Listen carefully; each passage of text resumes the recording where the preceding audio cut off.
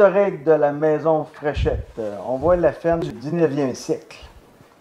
Euh, on voit ici l'ancienne maison principale avec le toit vert, euh, qui sert alors d'hangar pour la machinerie agricole, surtout. Puis on marque aussi la, vieille grange étable en arrière avec le gunway qu'on voit ici à côté. Puis la toiture qui est spéciale en toit de bardeau de Seine. Puis les murs en planche comme à l'ancien temps.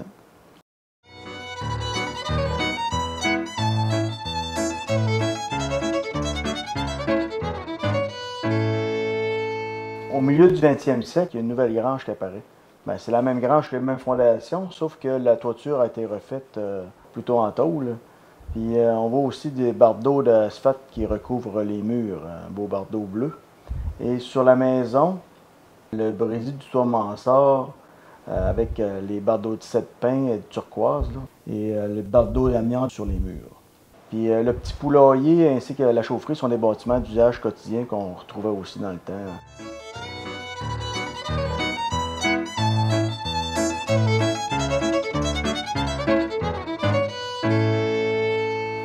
21e siècle, on voit que Annie et moi, on a restauré la maison beaucoup. On a défait euh, la vieille maison Fréchette parce qu'elle ne servait plus à rien et surtout qu'elle était vraiment euh, maganée. On a agrandi aussi la grange pour en faire une partie qui était une laiterie, puis l'autre partie pour abriter des, euh, des, animaux. La partie en arrière qu'on voit, c'est la fosse à fumier. c'est pour respecter les normes environnementales pour le cheptel laitier. Chaîne des titres.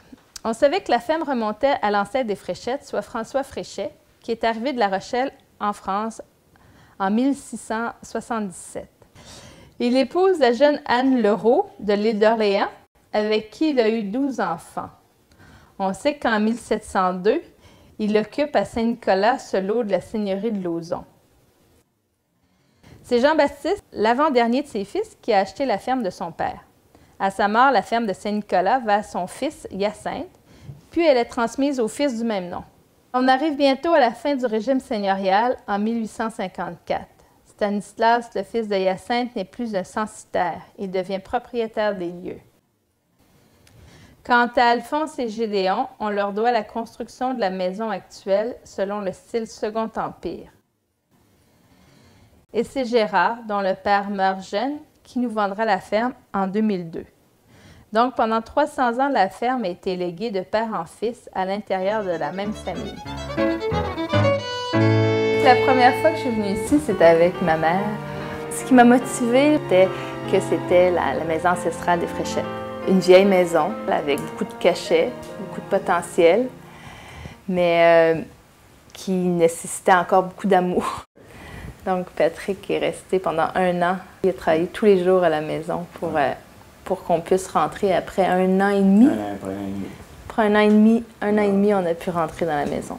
Ça, c'était la, seule pièce où M. Fréchette vivait. C'était cette cuisine-là avec ce salon-là. Il couchait là, il mangeait là. C'était les deux seules pièces chauffées par le poêle Bélanger, puis qui étaient fonctionnelles. Moi, de mon côté, tout le monde me dit oh, jette ça à terre, mais euh, la maison a quand même une valeur patrimoniale. C'est la maison ancestrale des Fréchettes. Il fallait refaire les murs. C'est pour ça qu'on a fait euh, la maison planche par planche. Puis il fallait faire l'isolation aussi, les fenêtres, tout ça. Donc on, les a, on a tout défait.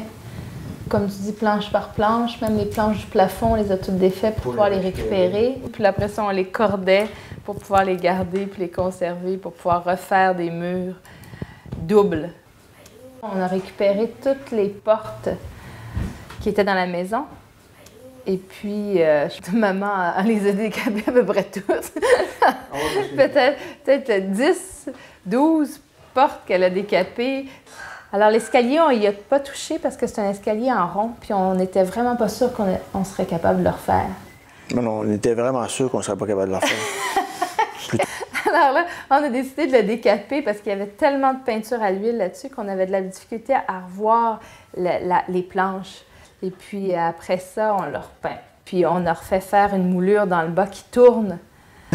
ça, ce plancher-là, j'ai descendu dans la cave en mettant mon escabeau pour défaire une planche du haut. J'ai passé à travers. J'ai passé à travers du plancher. Non, c'était fini, il fallait aller refaire au grand complet. On a refait de la structure pour solidifier le, le plancher. Patrick voulait absolument qu'on Oui, ait une grille, grille. comme dans les vieilles maisons. Probablement, c'est peut-être la seule chose que j'ai eu le droit de faire ici dans la maison, mais ça, on le verra plus tard. Là, on a verni le plancher avec maman. Puis là, il s'est mis à écailler.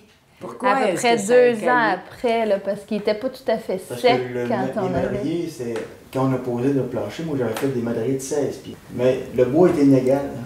Il y en avait qui étaient séchés, puis d'autres non, dépendant des, des- de la cordaille qu'on avait ramassée. Mais c'était Puis pas après normal. ça, il a, il a tout écaillé, donc il fallait tout le, leur sable. Puis, Puis là, euh, maintenant, j'ai un beau plancher oui. gris et blanc qui éclaire beaucoup plus. Ça, ça a été un dilemme, l'arche, parce que Patrick voulait récupérer les grosses moulures de l'arche du début, qui étaient vraiment grosses. Puis euh, moi, je voulais Vraiment belle. Vraiment. Puis moi, je voulais avoir un arche qui reprend la courbe de nos fenêtres. C'est resté un trou pendant plusieurs années avant qu'on s'entende sur la forme que ça allait prendre. Et encore une fois, j'ai cédé. Bah, ça, c'est- Mais après ça, après ça, t'étais bien content. T'as trouvé que c'était une super bonne idée. Et puis après ça, j'ai fait faire des armoires sur mesure dans la salle à manger par un ébéniste qui a fait les meubles chez lui et qui est venu les monter ici parce que tout est croche dans la salle à manger, les murs étaient croches. Puis après ça, on les a fait peindre.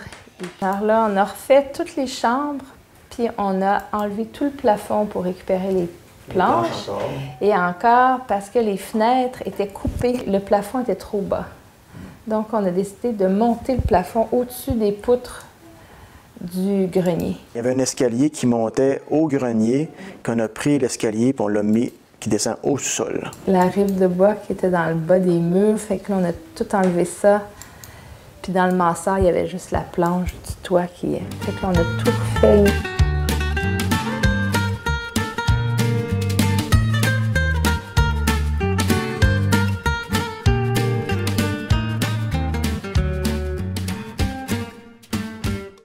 On a commencé à défaire, on, on avait plusieurs couches. La première couche, c'était l'amiante. Après l'amiante, on avait du papier brique de couleur rouge. Euh, Ensuite, en dessous de tout ça, il y avait un papier noir, mais après ça, il y avait du déclin de bois. Un déclin de bois euh, vieux, qui était vraiment beau, mais euh, par contre, il en manquait bien des places. En dessous du déclin de bois, là, il y avait de la planche d'épinette en diagonale.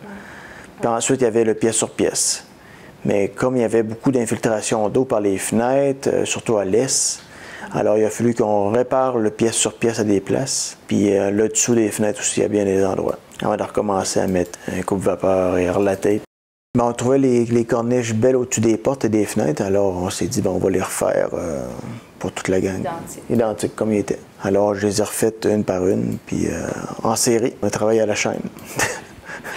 On a refait toutes les fenêtres de la maison avec la courbe parce qu'on aimait beaucoup ce style-là. Puis on retrouvait ça nulle part ailleurs, puis on trouvait que c'est ça qui donnait le cachet à la maison. Ah, ça a été vite, ça, monter la cuisine d'été, là. Et mon Dieu, la montée. Oui, on a décidé de faire des plafonds en caisson pour. euh, Parce qu'on trouvait ça beau. on trouvait ça beau, très beau. Une adaptation du caisson. Oui, vraiment caisson, Alors là, on a engagé une compagnie pour nous faire le déclin de bois. Ouais. Parce que sinon, tout le reste, on l'a fait nous-mêmes, à part les fenêtres puis le revêtement extérieur. Puis la toiture. Avant, c'était toiture à baguette sur le dessus et sur le mansard, c'était du bardeau de cèdre. Alors, on voulait garder ce même style-là. Puis que je monte mes venir par les fenêtres, passer ça par-dessus. Alors après ça, ils sont venus poser la tôle. Ça a pris un mois d'installation pour la, la- refaire la toiture au complet. Donc, sur le dessus à baguette et à la canadienne sur le mansard. C'est garanti euh, à vie, la vie de la compagnie. Quoi. Ouais, c'est ça. Ah, puis la dernière étape qui s'est faite il n'y a pas longtemps, c'est les corbeaux et les planches cornières. Ça a été tout un boulot de décorer la maison par après.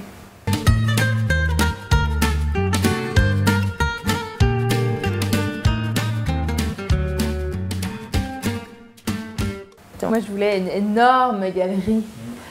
Parce qu'on avait déjà quatre enfants, puis je trouvais que ça allait ça me donnait de l'espace pour habiter là. Puis Patrick, il trouvait tout le temps que c'était trop grand. Puis à un moment donné, j'ai dit, OK, j'ai dit, fais-la ta galerie d'abord. Puis là, il n'en a pas dormi de la nuit. Et il dit, mon Dieu, elle a cédé, ça n'a pas d'allure. J'avais gagné sans forcer. Pas normal. Je- là, j'étais comme trop découragée. Fait que là, le lendemain, ils disaient, non, non, on va la faire, ta galerie. Finalement, j'ai eu ma, ma terrasse arrière. 50 pieds par. Ouais, 20. 52 par 20 pieds. Ouais. C'est assez grand. Mais avoue que plus petit que ça, on n'aurait pas. C'est vrai. Non, la, la On aurait regretté. Alors, on est allé à l'étable. Un gros travail de nettoyage avant de pouvoir euh, Wow. faire quoi que ce soit avec la grange. Les murs de la grange étaient d'un beau bardeau de l'asphalte bleu. Oui. Puis, euh, heureusement, il y avait un gros, une bonne tempête de vent. Puis, une bonne partie des, bardeau. bardeaux ont- sont partis au vent. Alors, euh, à partir de là, on, on a dit, bon, on va restaurer au complet la grange. Il fallait garder le cachet de la grange. on allait la mettre en bois. On espérait pouvoir récupérer les fenêtres, qui aurait réduit les coûts. Il a fallu qu'on en fasse faire des nouvelles avec les portes que Patrick a fait. Quand on a eu le projet des vaches laitières, ben là, il a fallu qu'on change complètement la toiture, mais aussi euh, avec une rallonge. On a commencé à restaurer le 1er septembre la grange, puis le 24 novembre, on tirait nos premières vaches dans l'étable. Fait que c'était très rapide. On s'était dit, moi puis Annie, ben, quand avoir des vaches, on aura des belles. On a choisi la rageuse. Puis très plaisante aussi à travailler, euh, affectueuse. Notre ferme, nous autres, tout est in- informatisé et euh, mécanisé en, en tout cas, au maximum. Pourquoi on a mis un robot? euh, Surtout pour augmenter notre qualité de vie? Puis j'ai plus besoin beaucoup de, de venir travailler à la ferme. là. Fait que Ouais. ça, ça- ça me libère euh, aussi là, pour être à la maison puis à mon travail. Je travaille en centre fourragère, donc euh, je suis spécialisée en phytogénétique. Ça fait que là, je connais plus les plantes que Patrick, qui connaît plus les animaux, donc je peux plus gérer les dates de cours, puis les espèces qu'on va mettre au champ, puis les mélanges qu'on va faire. C'est aussi avoir des vaches en stabilisation libre pour le bien-être animal. Euh, parce que les vaches sont sur logettes sur sable, donc très confortables. Et les logettes ne sont pas des barres de métal. On appelle ça le green freestyle, des logettes en plastique qui sont flexibles un peu quand les vaches euh, les poussent, mais ils se font pas mal. Alors, ils n'ont pas peur d'aller se coucher dedans, de se blesser quand ils vont se lever. Puis l'autre facteur, c'est parce que les vaches marchent aussi. J'ai 48 vaches au robot en ce moment. Vous avez le petit rayon ici, et voilà, c'est connecté.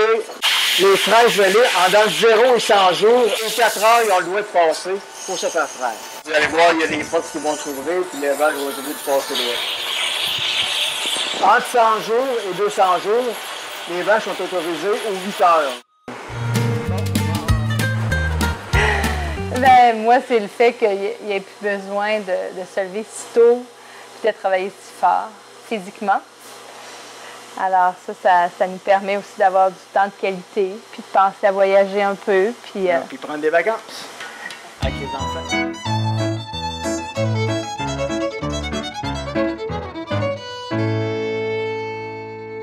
Alors, pour l'avenue de la robotisation euh, dans notre ferme en, en ce moment, ben là, ça a été un, un petit peu plus complexe parce que la robotisation amenait un défi de, de grange. Habituellement, c'est fait pour des nouvelles étables qu'on construit. Telle grandeur pour les logettes, telle grandeur pour les allées pour les vaches. Alors, les, les dimensions étaient déjà, sont déjà pré-standards. Tandis que nous, on repartait avec une ancienne étable. Je me suis mis dans la tête que le robot allait rentrer dans cette table-là. Puis là, on a élargi de 20 pieds euh, l'ancienne partie, mais il manquait toujours d'espace pour avoir environ euh, 60 logettes pour les animaux. Alors, j'ai fait 24 pieds. Ben, quand tu es revenu de travailler, tu as vu qu'il y avait une rallonge de 24 pieds qui était pas supposée d'arriver. Euh, mais a été faite. puis là, il fallait que je la marie avec le reste du bâtiment. Effectivement. Puis tu as bien réussi. Fait qu'on a refait le même revêtement à l'extérieur des planches, et puis on a mis les mêmes fenêtres à, à 10 carreaux euh, qu'on a fait faire pour, euh, que, ça- pour que ça soit plus harmonieux avec l'ancienne ferme. Puis moi, j'ai fait une belle porte de garage sur le côté pour être capable de rentrer. Oui, parce qu'il était surtout pas question que tu me mettes en avant. Non, c'est ça.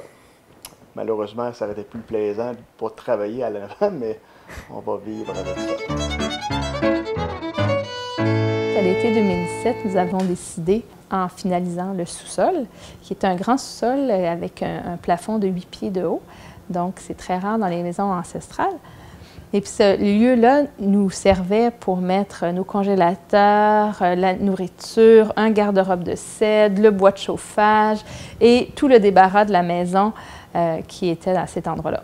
Nous avons décidé de restaurer et d'essayer de tout mettre ça, mais en plus beau. Dans ce sous-sol, il fallait trois placards de rangement, deux congélateurs, un garde-manger, une chambre, deux garde-robes, un atelier, une salle de séjour et surtout un plancher chauffant. Pour ce faire, on a dû casser le plancher de béton déjà existant pour pouvoir à l'intérieur mettre un drain français également. On voit ici les étapes de l'installation du plancher chauffant. C'était presque terminé, mais voilà qu'un beau matin, catastrophe, il y avait une grosse flaque d'eau sur le plancher de béton. C'est sans doute dû au fait qu'on avait dû creuser pour mettre le plancher à niveau. Il y avait une grande dénivellation entre les deux extrémités du plancher. Donc, on a dû creuser tout le tour de la maison à l'extérieur pour pouvoir réisoler, remettre un drain et refermer. On a dû également faire un, grand curtage du sous-sol, nettoyer les murs de pierre, enlever les poteaux de bois qui est existant et euh, élargir l'ouverture entre les deux sous-sols. Donc, tailler la pierre avec des coins éclateurs afin de pouvoir avoir une plus grande entrée, une plus grande circulation entre les deux sous-sols. Quand on a fait les cloisons, il fallait aussi passer l'électricité et la plomberie. Et on a dû passer ça dans les plafonds et au niveau des poutres. On a dû faire des coffrages et on a fait très attention afin de conserver les, poutres antiques et donc de faire un petit boudin sur le rebord et de mettre de la moulure. Comme nous avions épuisé notre stock de vieilles portes, ma mère est allée chez les antiquaires pour essayer de nous trouver quatre nouvelles portes. Et on voulait garder la patine du blond du bois. Donc, après plusieurs essais, on a réussi à reproduire la couleur des portes qu'on avait. On a également remplacé tous les soupiraux et les portes de bois par euh, une grande porte jardin pour donner plus de lumière au sous-sol. Alors, nous avons beaucoup de choses à ranger. On a réussi à, quand même avoir six placards et à les intégrer dans le décor.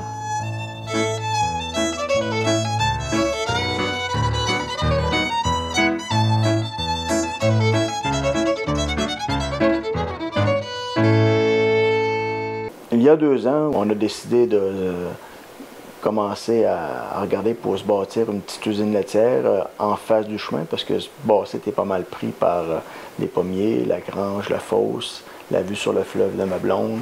Et, euh, mais alors, on a décidé de construire l'autre côté du chemin, c'était plus approprié si on voulait faire un un agrandissement plus tard. Ce printemps, on a commencé à, à faire des fondations, à monter le bâtiment, comme vous voyez sur les photos.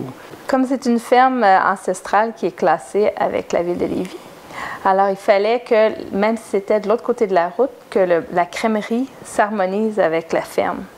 Donc, le revêtement extérieur devait être également en bois et les toits en tôle et essayer d'avoir une architecture qui s'harmonise.